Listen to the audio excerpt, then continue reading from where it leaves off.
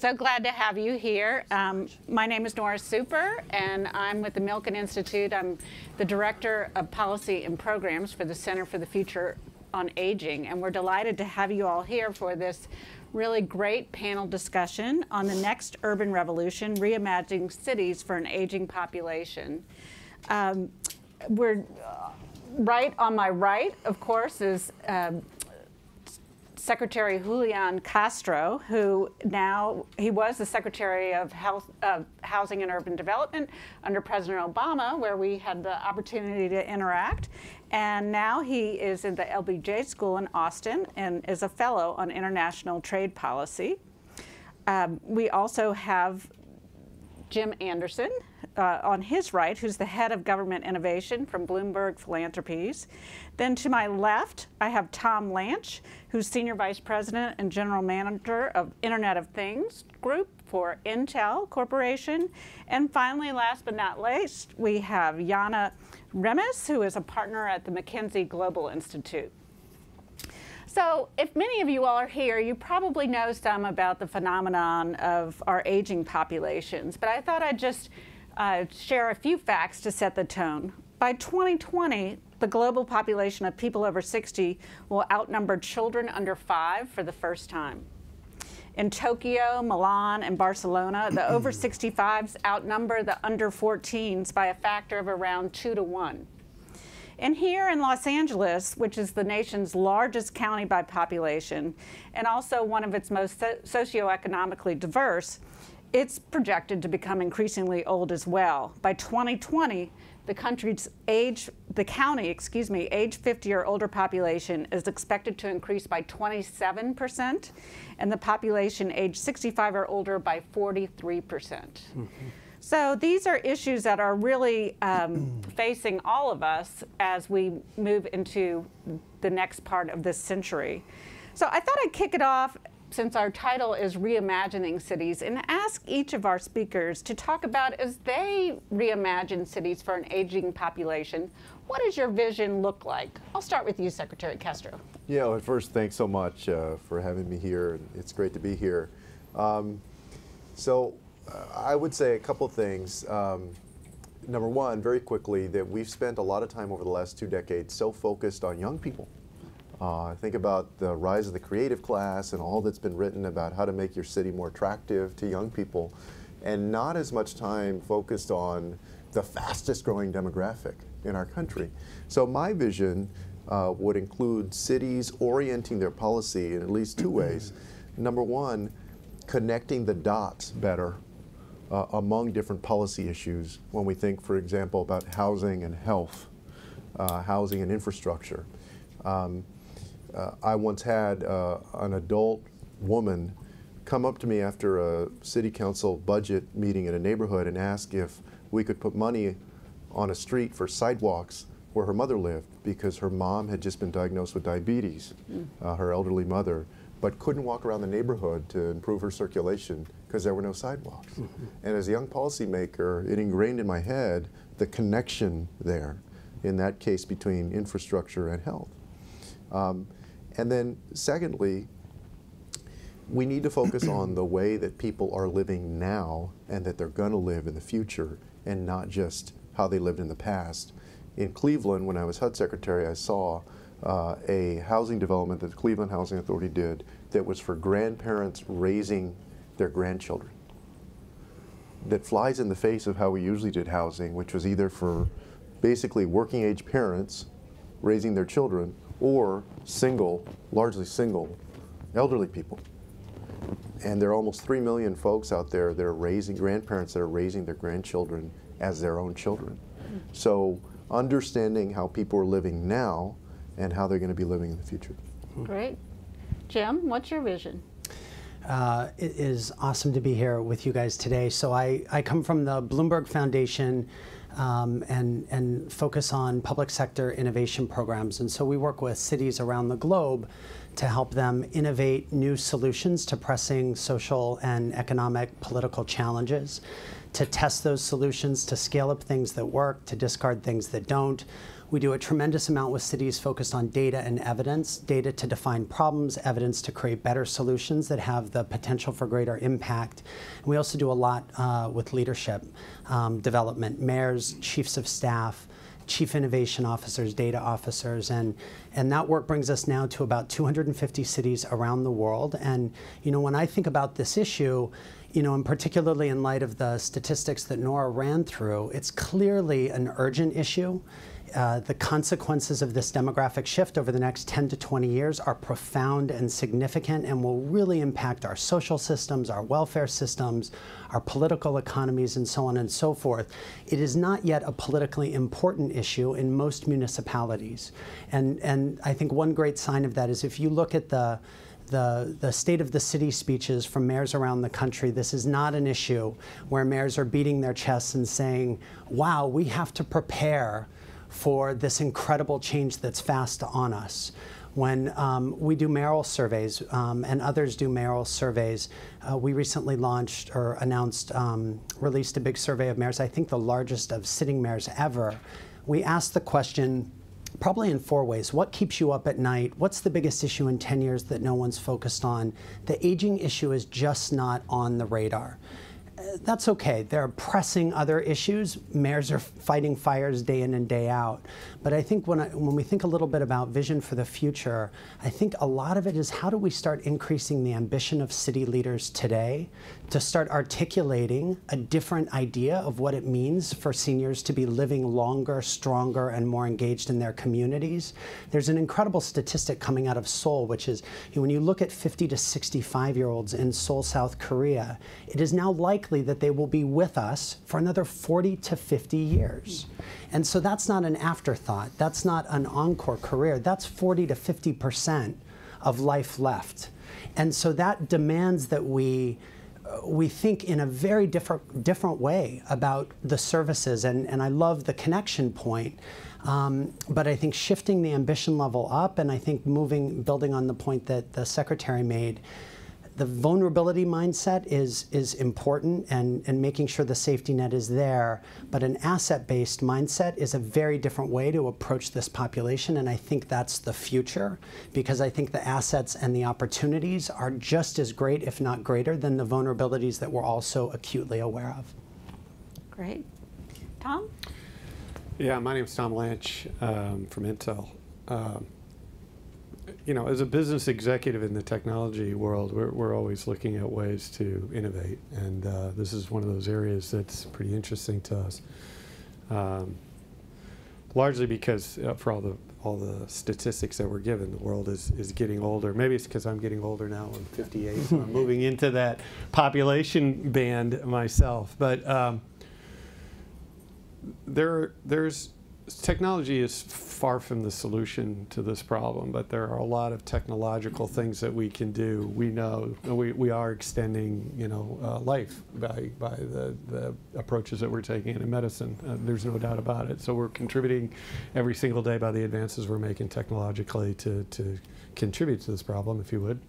Uh, but also we can, we, can, we can create more independence for people. I, I think for me, um, the city of the future is one of um, community and and personal uh, ability to contribute uh, consistently.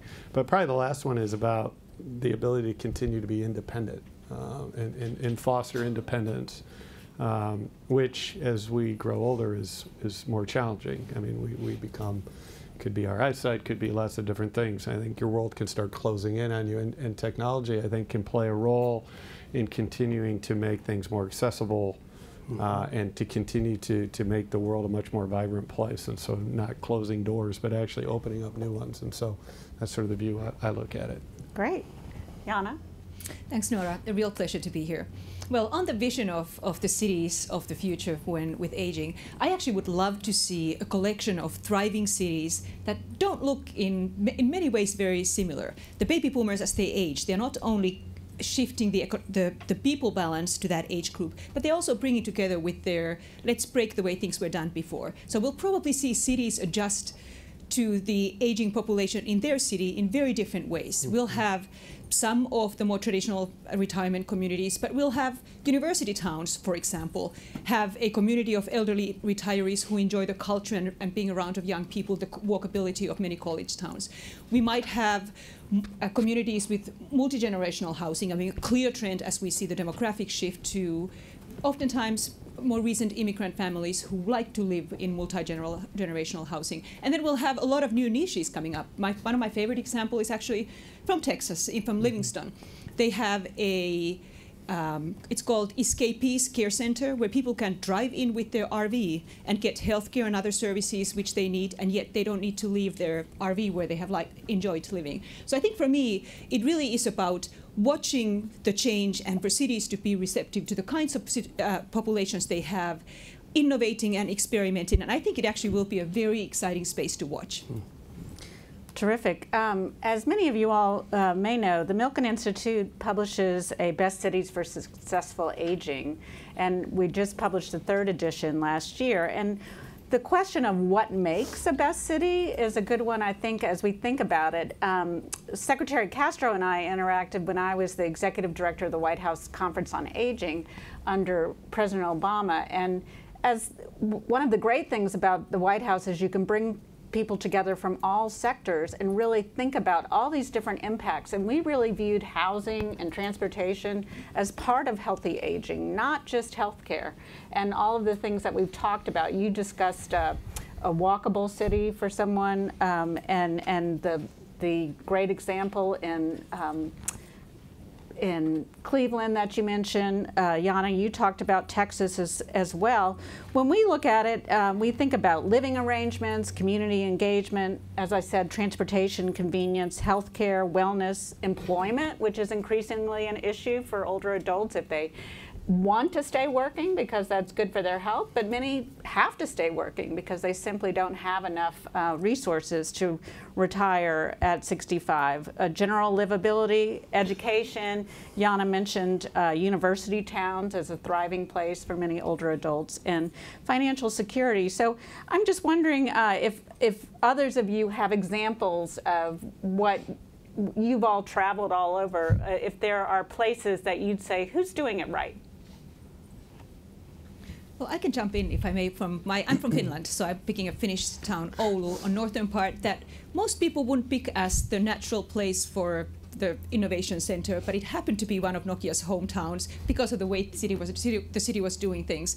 I think they are applying the same kind of innovative, all hands in solution to aging in a uh, Finnish society, the government has a lot of support for elderly. So there's a strong incentive for the city government to work with the hospitals, the uh, social services sector, mobility, etc., to create an environment that's um, that allows the elderly to continue to thrive in that environment. And I think they have done very, very well coordinating the information, bringing in actually elderly folks to talk about what they want. They have um, not only accessible information to both elderly and their fam families in one place, all your questions answered, to community centers and social services where people can actually not just get some support but socialize and get together. So I think Oulu is the one that I just love to watch because mm. they are applying the same innovative local approach to aging as they have done to many other places.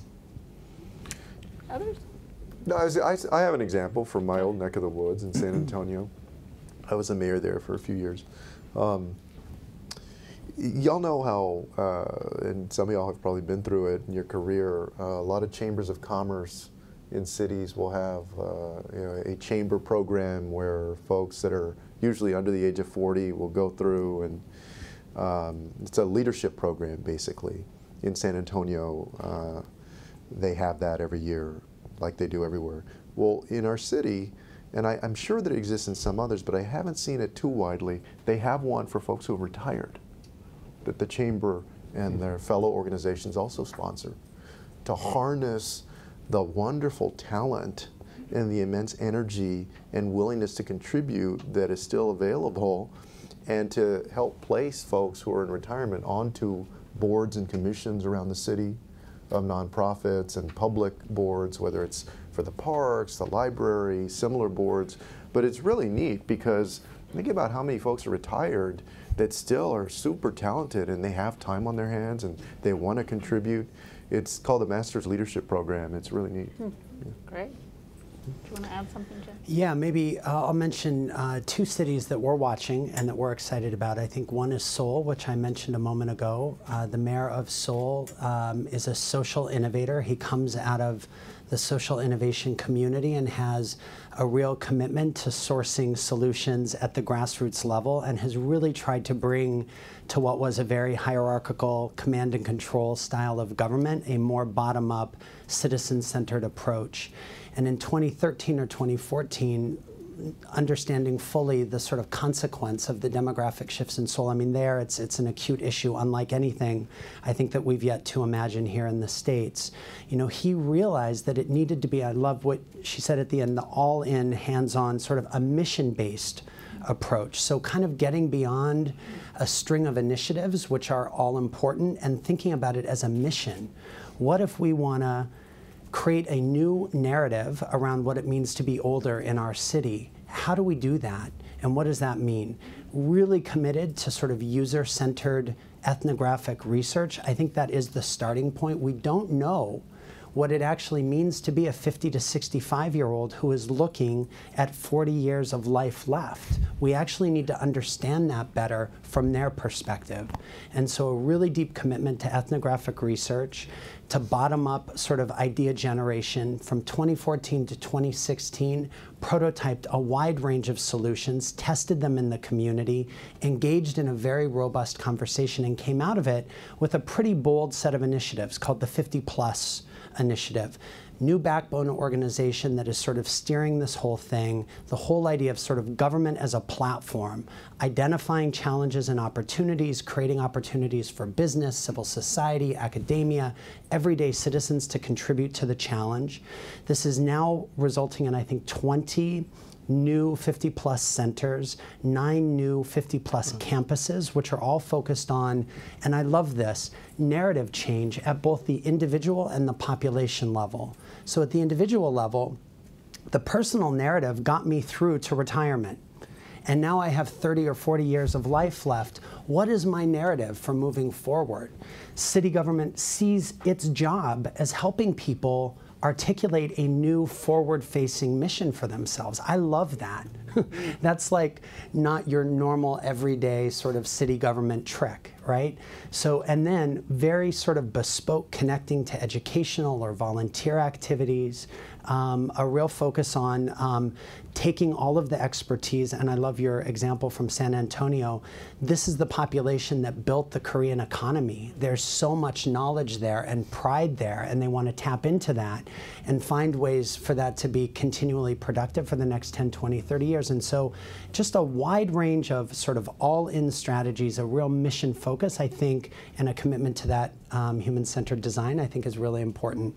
We fund, and I'll mention one other, um, in Tel Aviv, we have an innovation team in Mayor Huldai's office. Tel Aviv is also dealing with a rapidly aging population. Just in, I think, between 2013 and 2015, the senior population increased by 12%, while the rest of the population increased by 4%. They have a statistic that says every day the average um, length of life increases by six hours in Tel Aviv. So they, they, they are experiencing this as a really immediate issue, and they also have a very vibrant, active, um, older Jewish community that I think keeps the, the, the political pressure on City Hall. But they have also gone into it with a really humble approach of sort of let's understand who people are, what they want, how the wide range of existing services that we're already spending critical dollars on are or are not meeting existing needs. The segmentation they've done of, of this population, so I think the it's all older people are not the same. So they have this incredible segmentation around, well, there's the 50 to 65 year olds, the young old. Then they have the 65 to 80 year olds, the, the old. And then the 80 to 95 year olds, the old old. And they've segmented by ability to sort of mo- move across the city, mm-hmm. ability to remain stably housed and to age in place. And what all of that does when mapped against the ethnographic research, it just is, it's exploding their minds around what's possible. And it's creating a level of sort of creative innovation that gets so far beyond like the patchwork of services that we're running today to really think about like, wow, we need to really get to a totally different level in our in our in our way of thinking about public services. So both of those are newer initiatives and I think you know we should all be watching them because I think we'll learn a lot regardless of whether they're successful. Great. Um, Tom, I know it, at Intel you head up the um, program of the Internet of Things and look at technology. Um, are there cities that are really using technology well to address some of the aging population growth?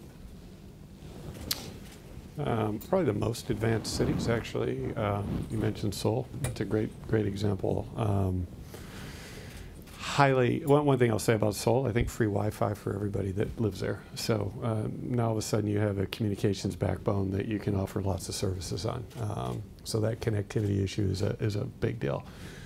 Um, you'll see Singapore being quite aggressive, um, probably the most aggressive on transportation needs right now. I think they are probably leading the world on autonomous uh, vehicle work uh, and, and its implications. And again, I think for the aging population, I, I think this is going to be it's going to be a big deal. I mean, back to this freedom issue. Personally, um, I just sort of went through this with my mother. I lost my mother a couple years ago. I, am I'm, I'm convinced uh, she wasn't. She was she was due for, for a driver's license renewal, uh, and she lived in a small town in northern Michigan, and that wasn't going to happen, and her life was probably going to shrink very quickly, and I think she just sort of opted out. So I think this notion of transportation, I think this draw to cities for, for, for older people is going to be higher because the services are going to be so much more interesting. So again, we're seeing that as well. There was a big article in the Financial Times this just this last week about cities around the world and how people used to leave uh, when they retired, but they're not leaving any longer. They're, they're staying. And that's putting a lot of pressure on the young people, actually, because the price affordability of housing now, which was a natural draw for, for young people to innovate in these cities, is also getting a pressure point because, they're, because the price points in these large cities are coming under, under pressure.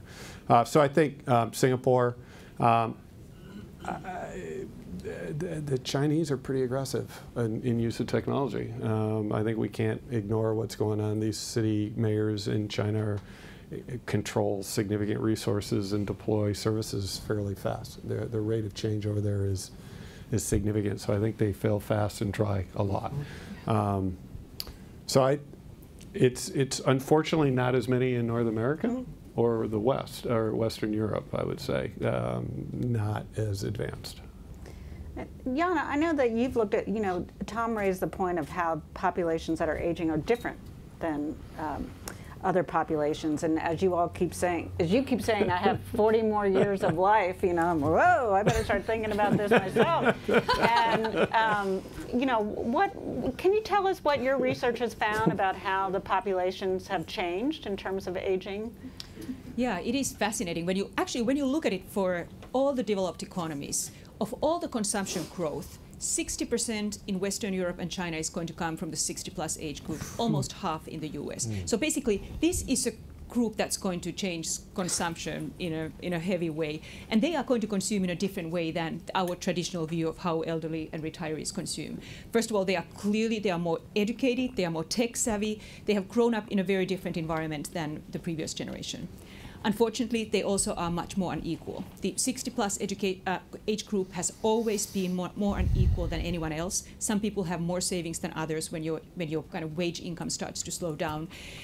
Unfortunately, we, we saw that decline until about the 1980s, but now inequality amongst the elderly is rising. And the reason is both because we moved away from um, uh, from pensions that you get, you had guaranteed income in the in the end to what you had to save yourself, and the baby boomers haven't on overall saved very much. And I think that's going to be a big challenge. We will have problems of managing wealth, transferring housing, uh, all of those kinds of things for those people who have assets, and we will probably have more elderly who are poor. And I think mm. that's something that most cities will have to will have to face. They're going to be more diverse. There's going to be more ethnic diversity amongst the elderly. Another change. It's happening more slowly than it is on the younger generations. But overall, this is a generation that will have the consumption power across most goods and services. Already, more than two thirds of cars are sold to folks over, uh, over 50, 50 or 55, I can't remember exactly. But on most products, they are a major, major factor. They will also change the labor markets because of the fact that they will stay in the workforce for longer. Most companies will have to accommodate them because of their talent, but also some of them are going to be jumping into the gig economy as their second job. Drivers in the car sharing business, elderly are a very large part of that. They also are the ones who have the assets for shared assets, etc. And I think we will also see elderly innovators. You suddenly have you can take more risk you have more assets you actually don't really care because you might have had your house paid and your kids through college you can actually innovate more so i think it is a an interesting change that we are going to see, and it's going to come from the economic sphere in many ways. And I love the examples when you talked about the time that people will have. When we looked at the free time available in the US, 93% of the free hours of leisure are going to come from the 60 plus age group. Mm-hmm. What are these educated folks going to do with their time? Are they going to volunteer and give back to the community? Are they going to work more? Are they going to go into local political uh, activities? Are they going to perhaps do something internationally over the internet. I think it will be, for example, one of, another one of my great examples. If some uh, elderly care uh, homes across the U.S.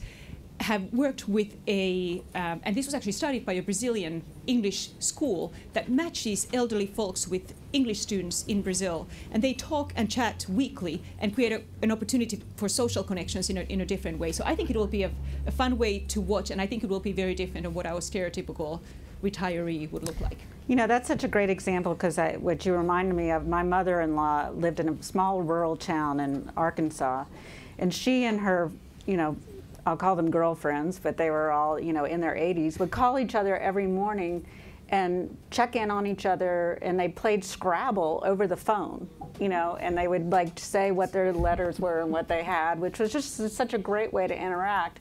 But I think while we see all that promise, there's also some concern that um, some populations will be left out, you know, if they don't have the income or the education.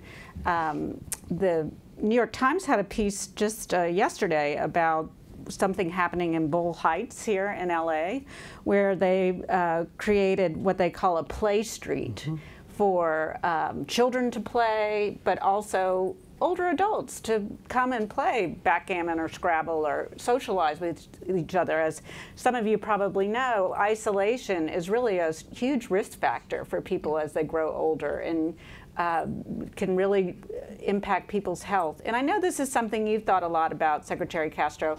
You know, as we look at the diversity in our population and uh, in the U.S., but also abroad. You know, what are some cultural differences that you think we uh, should make sure that we bring into um, we think about as we look at the future of the aging populations? Well, I think one of them was mentioned, uh, you know, multi-generational housing, for instance, being sensitive to the cultural norms of different populations.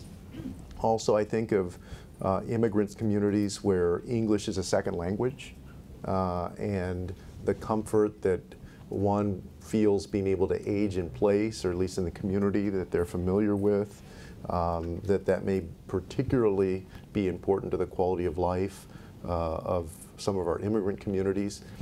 I also think about you know how much, particularly uh, African American wealth was decimated during the housing crisis. And when we start talking about people aging, you know, and you stop working, whether you have savings, any other wealth besides your home becomes more and more important. And so what are we doing to grapple with that going forward when we think about inequality increasing in that segment? Uh, so uh, there's certainly a lot of policy questions to be uh, addressed um, and I would agree that I think whether it's at the federal level right now or the state level or the local level, that's not a leadership priority. Mm -hmm. You really don't see folks addressing that as a leadership priority in general. So I'll just follow up on that because I was going to ask you, um, how do we engage policymakers on this issue so that they're not that they're thinking about the future of their cities and their um, districts where they live. Is it that more older people run for office, or that they're more active That, uh, in that would help. Yeah. know? I- would help. Number one, I think that would help. Secondly, um, yeah, I know that organizations like AARP have become more active at the local level and state level in the last few years, but but really, when you think about uh, AARP, for instance, I'll, I'll just take that, which is a great organization. I mean, we think about it, and we think about its its lobbying at the federal level, right? less so at the state and the local level, even though that does happen to some extent. I think that that the voices of that community um, need to be heard on these issues in a much more robust way, and also, of course, having policymakers that have that perspective that are sitting on the city council, uh, you know, sitting in the state legislature does help. But for whatever reason, these policymakers have not been as directed at the people, at the very people for whom they go for to vote, to get support for votes, which is odd. Yeah. Yeah.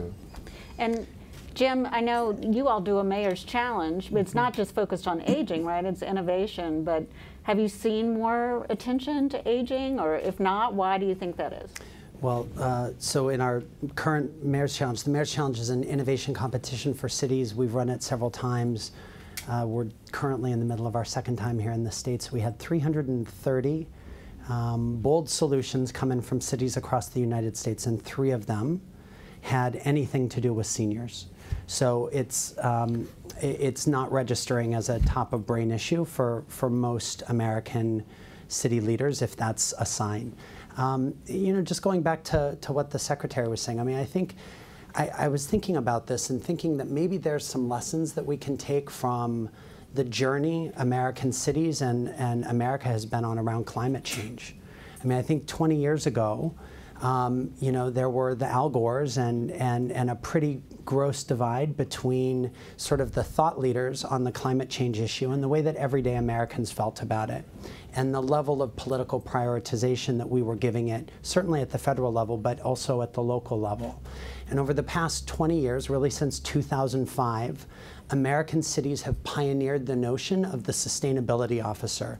Mayors sort of emerged as uh, filling a leadership void and, and experienced a leadership benefit for taking these issues on. They found a way to plug into um, national and at times global media recognition for sort of acting out on these issues. This goes back to Greg Nickels and um, the early days back in Seattle. So, you know, maybe we need to think a little bit more about how we, as folks who are interested in this issue and recognize the degree of change that's coming, you know, the language issues matter, how we talk about it with citizens. How do you sort of shift this sort of, uh, you know, lots of more old people over the next 20 years?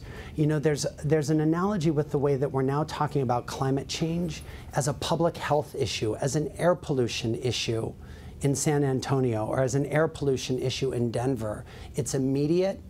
I feel it. My kids go to school in it, and I care about it. And I'm going to call my mayor about it. Hmm. You know, I wonder if there's something in the language of all of this that might help us reframe and create more urgency where today there there there isn't what we'd like and and then I think we need to think about political and sort of leadership opportunities for the folks. You know, we need some we need some early adapter U.S. mayors to sort of, you know, say, hey, I'm going to make this a distinguishing trait of my leadership, and I'm going to get that attention. They all crave that. We know Yeah, that. I very much agree with that. That you need to find two or three people out there that are willing to carry the mantle. and, and, and to support them in a, in a different way. So I think the, the rankings that you guys do is incredible, and there might be something interesting to layer on top of that, where the rankings line up with sort of political, civic ambitions that create an opportunity to do something more mission oriented in a handful of cities. And let's, you know, let's get a couple US cities to become the leading lights. And in, in my experience, we do a lot of work with mayors. When I'm the mayor of New Orleans or Louisville or Provo, and I see 10 other mayors are doing something amazing and they're getting positive feedback from their constituents, from national media, I'm on board. Like I find a way to that thing. And, and the, the sort of the, um, that friendly competition in a way, but it's it's it's really productive if it's sort of well structured and channeled. And I think we should be, I think those are things that we should be thinking about. And competition's great. I, I wonder from the two of you if you want to jump in and talk about how do we get business leaders more engaged. Um, and if you have thoughts about politicians as well, feel free to jump in. But, but uh, you know, as many are having trouble in look, you know, recruiting talented workforces now, and how and people have this expectation they haven't really been you know, adapting flexible arrangements for older populations. Do you think business leaders are starting to get it, or could, if not, what can we do to encourage that? You Want to start? Either way. Okay. Um, y- you know, it's interesting. I just met with a bunch of manufacturing business leaders, and uh, I was in Germany last week, and there was a big manufacturing conference, and happened to meet with a bunch of American business leaders. Interestingly enough, uh, U.S. manufacturing, despite all the, the rhetoric, um, is still pretty strong, and there's a demand for talent, big demand for talent. and um, they were talking about, and, and they're losing people every single day because they're retiring.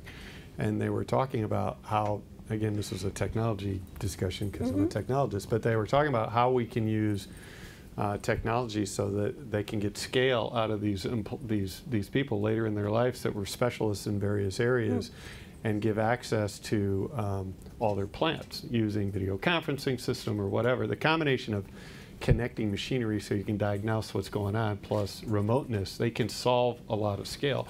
So. Um, they're trying to, it's not really a city issue, but it is an aging issue of trying to keep these um, very talented people who um, have you know, built American manufacturing um, in, engaged because they have to. It's a competitive issue for them. Um, and this happened to be a paper mill company, and they have lots of disparate, I think 160 factories around the United States in lots of weird places. Uh, and, and so they, they, they, all of them, uh, and there were 16 of them at the table with me, were just talking about this need for talent of maturing populations, and there's no backfill people are not entering, young people are not entering into this workforce. And so um, they're, they're highly motivated right now uh, to, to, to, to retain this talent. Yeah, we hear that from everyone, but especially from technology companies. I mean, not, not necessarily the, the computer, but technology companies of more traditional industrial companies, oil and uh, basic materials, uh, things like those. It is a lot of that talent is aging and it's not filling up. I think the shortage is very, very clear, and I think the companies realize that on their own operations. They are very aware they need to find different arrangements to keep people for longer. They don't want to lose those folks. There's a lot of shortage of technicians on the field, the Franks and the Marys who actually know how to get stuff done and where the skeletons are hidden. So it really is a, a very urgent challenge, a very high priority for most companies. However, there's another angle from the company side, which is on the innovation side, which is the I, I'm based in San Francisco, so um, the innovation co- uh, community around there. I think there's a lot of young people on the new digital um, software industries, and there, I think there is a relatively large gap still on the appetite for doing apps that they know about and their friends play with in the millennial generation. As you were saying, we have paid a lot of attention to the young folks, but um, I think being able to get more of that new next wave digital technology solutions to the elderly and getting it in a way that actually is user friendly and applicable, I think it's a big deal. So I But if I can, can I just Oh, very yeah, quickly? yeah. I wanted to say something about. I was listening to you talking about the problem of aging not being at the top of the mind. Perhaps we who speak about aging have a branding problem. Perhaps we, uh, because it's always a problem and people are getting old. Why don't we make it exciting about the next 40 and 50 Right. years? I think we need to shift the, the debate because that's how I think everybody would rather think about it to make it exciting. Yeah, I think you're right. You know, as I think about it too, it, it, because as many of the economic things that you, you know, my kids are out of college. I don't have to worry about that. I have, you know, new opportunities, and to think of it as this next chapter in um, our lives. But I, but I also want to follow up on what you were saying about. Uh, technological solutions. I know, Tom, you and I have had these discussions too about how many of these things can um, help everyone, uh, no matter what their age. And there was an article a couple weeks ago about a 14 year old coder who developed a new app, uh, but because her grandmother had dementia. And she recognized that she needed some cues to figure out. Uh, so they used artificial intelligence, face um, recognition and you know, put in all her family members, and she could, when that person walked into the room, they could say, "This is your, you know, granddaughter Susie. She's from X Y Z." Uh, little uh, reminders like you've called this person three times today. Do you really mean to do this? You know, and I, and I think, wow, this would be really helpful for me. You know, like when I go around, and not necessarily calling people three times, but the face recognition. You know, uh, or any of those reminders of things that you have, and these solutions can really help all of us. I think as we look at this population. I don't know if anyone wants to comment. Yeah, I mean, well, I'll just talk about. I mean, you know, the autonomous car thing is an interesting one. Um, I happen to have uh, a 23 year old that lives in LA and a 25 year old daughter that lives in London. Uh, and then the extreme I just got done talking about my, my mother. Uh, it's interesting, you know, rites of passage for me as a now 58 year old male at 16 as an American was a car, right? My kids could care less. They could care less. My daughter doesn't have one. My son has one and begrudges it because he lives here. Um, and, and again, you go to the other extreme, elder part of your life. Do you really want to drive? Maybe, maybe not. You just want to have transportation at access. So, you know, there are some common grounds that maybe we can to build upon this point between generational divides um, to to pull these two Yeah. things together. Uh, another area that I was involved in initially was in the dementia area, and there was a lot of research that was done historically about music, specifically in, in dementia patients, uh, uh, people that had dementia. If you played music that was specific to you as a and, and you had dementia at a specific point in time in your life, usually when you were young and in love, interestingly enough, um, it it brought you out of the sometimes a catonic state. And so there were there's a lot of work that was done between young people and their grandparents interacting with music of their generation that meant nothing to the 16 year old child that was talking to their grandparents. But these kinds of things, you know, have a way to, to cross um, divides. And I, and I think, as any of these types of initiatives, to me, that's, that's finding common ground across multi generations will just accelerate this thing if they both need it.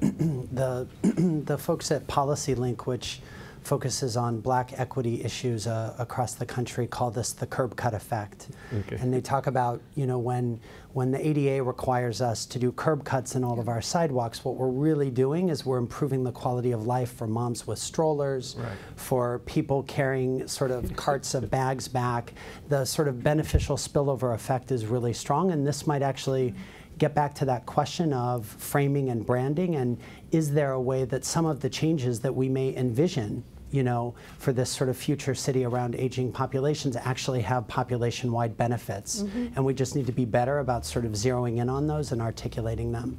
I think the the issue of the you know the new and emerging technologies i think is a it's so promising, and I, I, I'm a little bit of a beaten, um, beating the drum around city leadership. And the thing that I would say is that you know we've tracked more than 100 autonomous vehicle pilots in cities across the globe, and in almost none of those instances were cities sort of at the table articulating a problem that is acute in their city that they would love that technology to help them solve. In most cases, the technologists are coming into the community and, and they're selling in and they, you know, do you want to be a cool city? Let us do an AV pilot on your streets, and that's incredible for R&D develop, you know, R&D purposes for the company. It's not quite as immediately clear that the benefits um, are bestowed upon the citizens in these cities. And so, you know, I love what San Jose has done. So Sam Liccardo, you know, just a stone's throw from Silicon Valley, has been approached by everyone to pilot autonomous vehicles on his streets. And he says, yeah, I would love to partner with you, but I have vulnerable populations that are disconnected from economic opportunity. My streets are your streets if you want to test technologies that help me solve that gap. Hmm. And it's a really positive and powerful way for the cities to shape markets and to articulate to the business community these are the most acute things that we're feeling. Come back to us with technologies that are responsive. We will be a, a, a market for you. And so, you know, just sort of playing that forward, imagine if a number of US cities got together and said, you know, we've got these kinds of senior issues. Here's an advanced market commitment. You come back with technologies that help us square that circle. And we're going to be really excited about that and become test beds for you. And I think that's a really powerful proposition um, from civic leaders to the business community. And, And, and I the think business untapped. community would love that because again, it, that one of the challenges of business person dealing with with these cities is it is so fragmented. So if the if the mayors would get together, it creates scale, which is what every technology company is looking for. Right. We, we love scale. We like broad broad scale. So there, there's tremendous power in that actually economic power to, to, to get solutions deployed quicker. So I want to make sure I leave some time for Q&A from the audience because the great thing about the Milken Institute Global Conference is those of you in the audience probably know just as much as those of us on the stage or want to engage in this conversation. So if anyone has a question, we have a mic in the back and uh, just want to raise something. Right, okay. Um, Just a question, uh, re- thank you very much. Question related to the comment that was made a while back about the financial assets available to the uh, aging population. I remember, uh, I think, a Senate hearing not that long ago that highlighted the average baby boomer has got thirty-five thousand dollars, which actually seems like a lot of money, and an eighty million, you know, strong population. How do we deal with this? I mean, I know we have to be sensitive to a lot of other concerns, but we got a very basic issue of, of an impoverished population, and that's in the United States. Mm-hmm. I think that is a very important question. And I think it is a question, it's not just in the US. I think the same challenge is in China, where their population is aging very quickly and they have fewer children to support. I think this is a reason, one of the reasons why the younger generation is actually having a hard time, because they know they worry about their parents. They know their parents don't have the income to have the kind of a life that they would like their, their parents to have. I frankly, I would love to hear some of the folks who have who have who have talked about the financial side more and who have the solutions. I think it is one thing that I personally worry a lot. I do not want us to see a lot of poor people, uh, poor old people who uh, who don't get the care that they deserve. But, you know, I'll just raise that as we think about in cities in particular, as older people often have home equity, uh, younger people can't afford to live in these cities. Are there opportunities for some of this, you know, co-housing or ways to think about generations sort of uh, solving problems together that they can find solutions?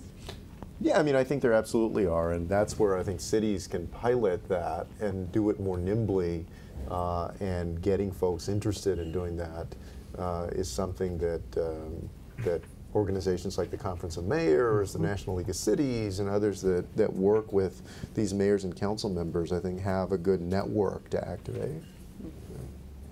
LA, it, um, I'm sorry, um, LA is, it's a different issue. It's the homelessness issue. But to your point about sort of piloting interesting new sort of um, housing models, they, they're piloting a sort of incentive package that basically if, if you agree to build a grandmother's unit in your backyard of your single family residence and it meets certain specifications, the city will waive all of the permitting and regulatory fees that you would otherwise incur. It's something like ten to twelve thousand dollars that you would pay for the privilege of building in your own backyard, um, and they will waive that. And the trade-off is you house a homeless family for hmm. two to three years. The city will come in, subsidize the rent, provide a tremendous amount of social services around that homeless individual or family.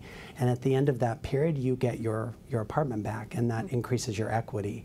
And so, you know, that's a great example of the creative sort of ideas that can bubble up from cities and, and that could potentially solve some of, or help us address some of these affordability And I'll just add another one that made me think of, of uh, a couple of projects around the country. I know there's one in Washington, D.C., similar to what you said about grandchildren, grandparents raising grandchildren, but looking at older adults as an asset, not necessarily a burden. And there, there's a housing community there where they've taken uh, foster families and paired them with older adults and living in the, they give the, the, uh, the older folks subsidized housing as return, but they also help the kids with their homework when they come home because they're not at work all day while, while their parents are.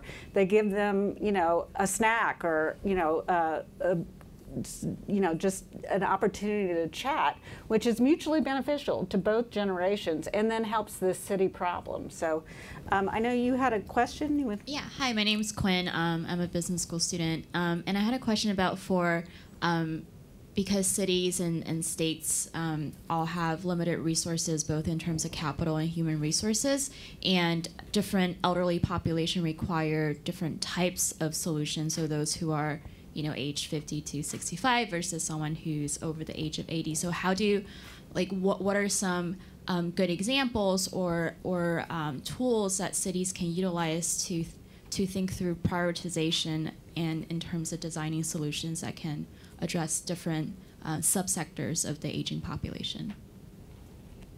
You want to take that one? No, go ahead. I, you know, I, I think I, I think I think the first step in that process is to develop a full understanding of those different um, stratifications within the population. So I think the the uh, the sort of presenting challenge is let's stop saying all old people are like all other old people and recognize that as this population increases, both in terms of its size and in terms of the number of years that they are going to be active in cities, we need to be more differentiated in our language. And then I think you know this is what local leaders have to do all of the time. They they have to prioritize scarce resources and where are the greatest um, trade-offs going to be in terms of public investments. And so I, I think there's not a cookie cutter response to that. I think it's about good data, a good understanding of what the challenges are and the diversity of populations, and then bringing people together at the community level to say, hey, this is, this is our priority, and that means we're not going to be choosing this and that's painful, but, but this is where the bigger benefit is for the greatest number of people. I think that's what mayors are very good at. I think what, what we want to layer on top of that is a more rich understanding of the diversity of need and that, that is growing and existing in communities.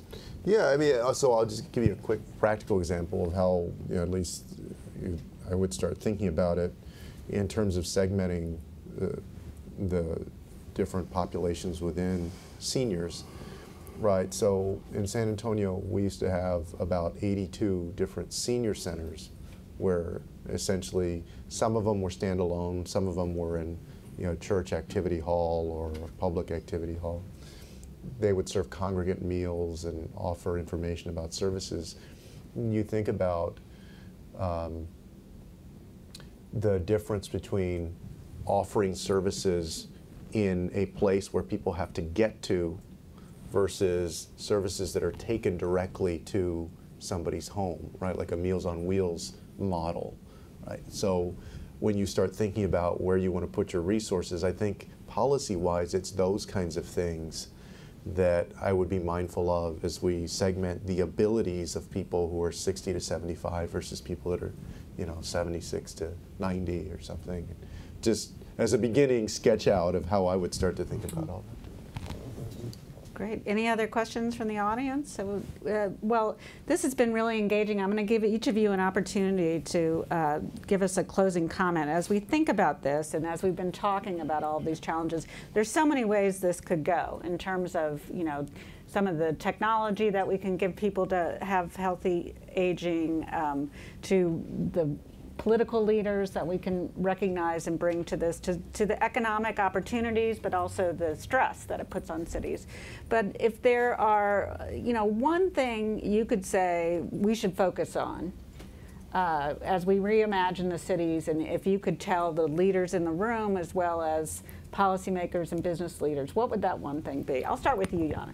Well, Well, I think for me, it really is about making sure we make the most of the human resources. We have never seen a generation like the retiring baby boomers in the Western world today. They are so educated, they actually have quite a bit of income, they will have free time. I mean, that's just never seen in that scale in the history of the universe.